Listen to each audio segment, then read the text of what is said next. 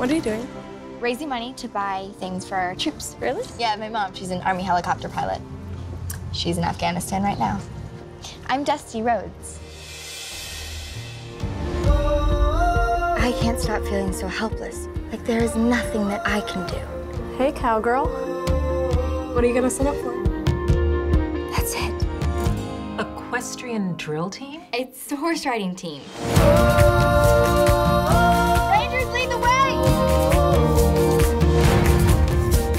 Let's okay? Let's give them one heck of a show tonight. From my mom.